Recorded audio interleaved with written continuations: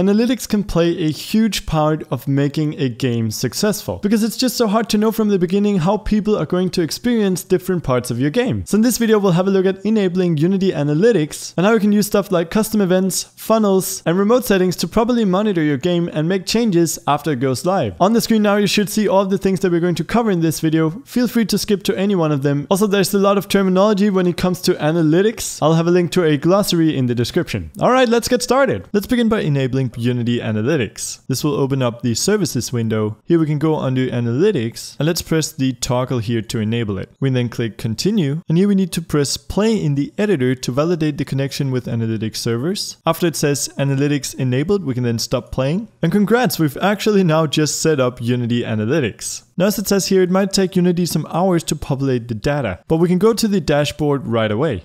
And here is the analytics dashboard. As you can see, it currently says pending data processing. And of course, we don't want to wait for this. So inspired by all the great TV cooks, I've gone ahead and cheated a little bit. If we go to the top and click operate, you can see all of your cloud service enabled projects. Here you will also see a demo project. If we click this, we can essentially see what our project is going to look like. Under the overview tab, we can see stuff like our active players, the amount of sessions this week, user retention, as well as generated revenue. And we can also split this up into nice graphs so we can see a development over time. If you want to explore even more data, we can go into the Data Explorer, and here we can see a breakdown of a whole bunch of events. We can also split our data into multiple segments. As you can see here, there are a bunch of pre-generated segments. Some of these are location-based, some of them are based on demographics or target platforms, and we can actually add segments ourselves. We'll have a look at that later. If we go into live stream, we can see how our game is doing in real time, and we can actually see our active users plotted on a map. So this is really cool. Now if we go back to our game, there's of course no data available yet, but as soon as it finished processing, it should actually already track active players, sessions, retention, and all that. However, there's of course a bunch of things that you might want to track which is specific to your game. Now inside of Unity, I've created this test scene called one button. In here, I have a canvas with a UI button and the button says press me. Now let's imagine that I wanted to track people pressing on this button. To do that, I would go to the button and add a new component. I would search for analytics and select the analytics tracker. Now here I could create a new event name. In my case, that would be button press and we've now just defined a custom event. We then choose how to trigger this event. You can trigger it when starting a level, when enabling or disabling an object, or we could choose external. This means that you can trigger the event from other scripts. In our case, we want to trigger it whenever we press the button. So I'm going to add an on-click event on our button. I'm going to drag in our analytics tracker script. I'm then going to go under function, go under the analytics tracker, and click on trigger event. Now every time we click this button, it will notify our analytics tracker, which will trigger a button press event. And we can actually see this happening in real time. If we open up our dashboard and go under live stream, we can already see that we have one user login and one new user. If we scroll down to the bottom here, we can see our top custom events. If we then go into Unity and hit play, we can try clicking on the button a few times. I'm just going to click it three times. And if we now go back to our dashboard, and we might need to wait a bit for it to update, we can hopefully see that we have a button press event and that it has occurred three times. Now, if for some reason Unity is still setting up your analytics and this isn't triggering, we can always see it working if we go under our services and here under the validator, we can see our three button presses, as well as an exact time for triggering the event. Now that's pretty cool, but there's actually much more we can do with custom events. If I open up my next test scene here, you can see that I have two buttons, a red one and a green one. And let's say we wanted to make a game where we keep track of how many people have pressed the red button versus the green one. In this case, we could of course go ahead and create two separate events, but both events would be a button press. So a better way to do this would be using parameters. If we go onto our canvas here and select our red button, I'm going to switch to the inspector here, we can see that I have an analytics tracker here with the button press and the trigger set to external. But we can also add a parameter. You can have parameters specific to different game objects, or you could have static parameters, which are simply a single value. In our case, the name of our parameter should be color, and the value of a parameter should be red. Now we can do the same thing for our green button. Here we add a parameter, we change the parameter to static, set the name to color, and the value to green. Now we can switch into our services and hit clear on our validator. We then hit play and we can try pressing the red button say twice and the green button once. Now we should see our custom events here update to 6, but we can't see parameters in live view. Instead, we'll have to go into the Data Explorer. Here we could add a custom event, and here we would input the custom event of button press. For the segment, we could use all current users, and as the parameter, we could then input color.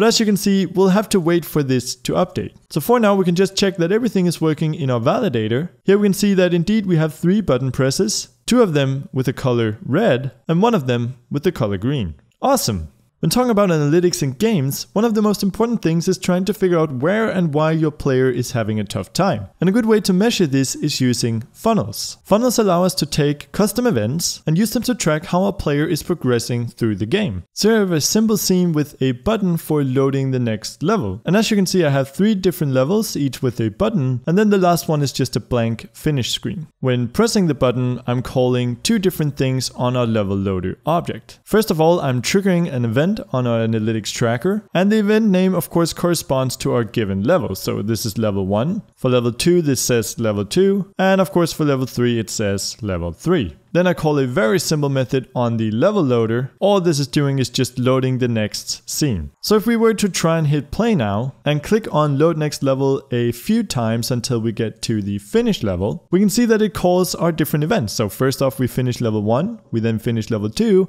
and finally we finish level 3. And we can see this under our custom events as well. Don't worry about the numbers here, I've been trying this out a few times. So now what this allows us to do is go up to our funnel analyzer and add a new funnel using these events. We could name this funnel level progression.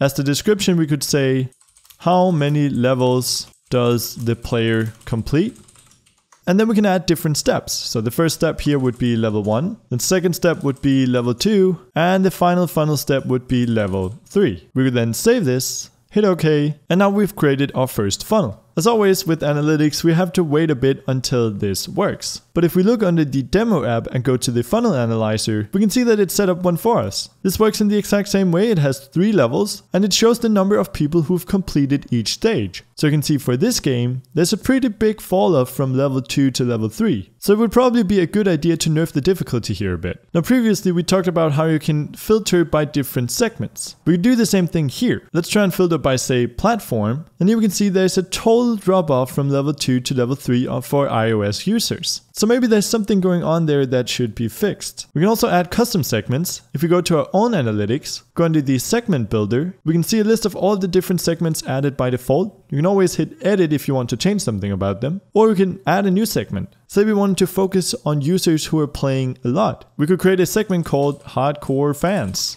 And the description would be users playing a lot. Then as the event, we could say that the number of sessions a user had in the last week is, and then we could say at least 10. So only the really hardcore users. To create this segment, we simply hit create.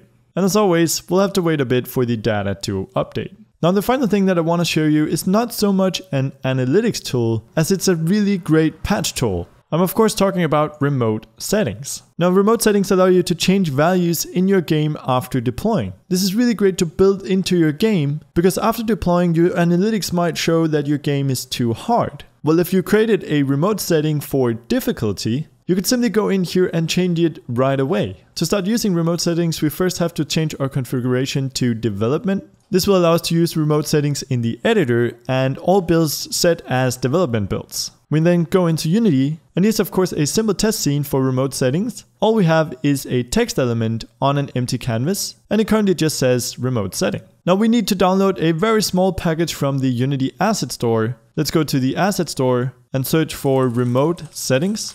Let's navigate to Unity Analytics Remote Settings and hit download and import. I'll of course have a link in the description. Let's hit import once again. And let's now try and change the value of our text using a remote setting. So that's it, add component, and let's search for remote settings. Here we can add a new parameter. We want to change our text, so I'll reference our text object. Under the field here, I'm going to go into our text component, and I'm going to change the text variable. And now we need to specify a remote setting key. Now we haven't created this yet, so let's go into our browser. Let's create a new key. Let's call this key game quality.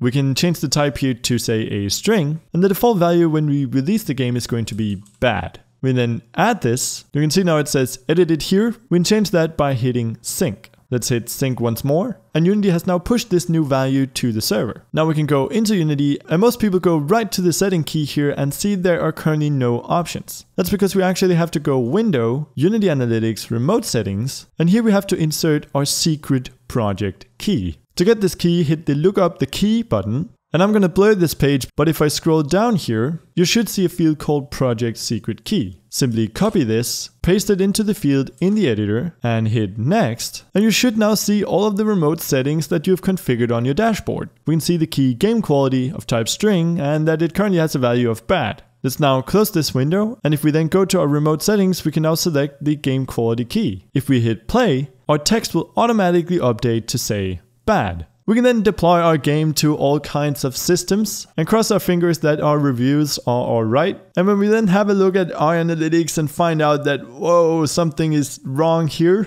all we need to do is go to our dashboard, edit our game quality, and change it to good. If we save that, sync it, and hit sync again, we should see that the next time we play our game, the result is good. That's pretty much it for this video. If you enjoyed it, make sure to subscribe so don't miss a future one. Also, Unity Pro allows you to do a lot more stuff with services. So if you find yourself often using these, I definitely recommend you check it out. I'll have a link to it down in the description. Also, let me know if there are any other services you want me to take a look at, such as collaboration or ads. Other than that, thanks for watching and I will see you in the next video. Thanks to all of the awesome Patreon supporters who donated in August, and a special thanks to Hans Hoftun, Jesper Mikkelsen, Thomas Worley, Stone Gamer, Cyborg Mummy, Jason Lotito, Derek Heemskerk, Faisal Marify, Husam Kaza, Judaman, Aaron, Robert Bund, and Peter Locke. If your name's not on the list, I will make sure to include it in videos later this month and the next month as well. You guys rock!